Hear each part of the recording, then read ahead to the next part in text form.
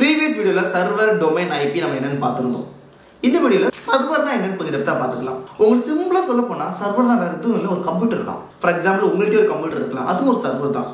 So சர்வருக்கு main purpose என்ன பார்த்தீங்கன்னா ஒரு ஃபைலை ஸ்டோர் பண்ணுறதுக்கும் ரிட்ரீவ் பண்ணுறதுக்கும் யூஸ் பண்ணுறது இன்கேஸ் உங்கள்கிட்ட ஃபிசிக்கலாக ஒரு கம்ப்யூட்டர் லேப்டாப் இருக்குதுன்னா நீங்கள் என்ன பண்ணுவீங்க?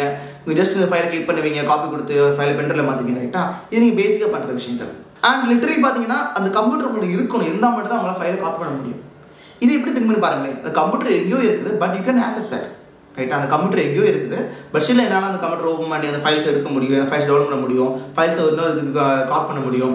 அப்படி வரும்போது அந்த க்ளவுட் சர்வர் சொல்லுவாங்க. இன்னும் சிம்பிள் சொல்லப்போனால் நீங்கள் இந்த கூகுள் டிரைவ் யூஸ் பண்ணுறீங்க ரைட்டா இது எல்லாமே வந்து க்ளவுட் சர்வர் பேஸ் உள்ள விஷயங்கள் தான். ஸோ கூகுள் க்ளவுட் சொல்கிறதெல்லாம் நமக்கு இந்த ஸ்டோரேஜாக யூஸ் பண்ணுற விஷயங்கள் பட் இது சிமிலர் கான்செப்ட் தான் but we can access website இதான் டிஃப்ரென்ஸ் ரொம்ப ஷார்ட்டாக சொல்ல போனால் ஒரு கம்ப்யூட்டரை உங்களுக்கு எங்கே இருந்தால் வேணாலும் ஆக்சஸ் பண்ண முடியும்னா அது ஒரு க்ளவுட் சர்வர்னு சொல்கிறது ஸோ க்ளவுட் நான் மாதிரி மேலே இல்லை. Like we can access from anywhere அதான் கான்செப்ட் ஈவன் உங்களால் உங்கள் சிஸ்டமையும் உங்கள் லேப்டாப் உங்கள் டெஸ்க்டாப்பையும் உங்களால் க்ளவுடாக மாற்ற முடியும். அது கொஞ்சம் செட்டன் விஷயங்கள் இருக்குது. நீங்கள் ஸ்டாட்டிக் பை பண்ண வேண்டியது இருக்கும். ஃபயர்வால் ஆதரேஷன் பண்ண வேண்டியது இருக்கும். இப்போ பேசிக் விஷயங்கள் இருக்குது இன்கேஸ் அதெல்லாம் நீங்கள் பண்ணிங்கன்னா உங்கள் சிஸ்டமே நீங்கள் வந்து சர்வராக மாற்ற முடியும்.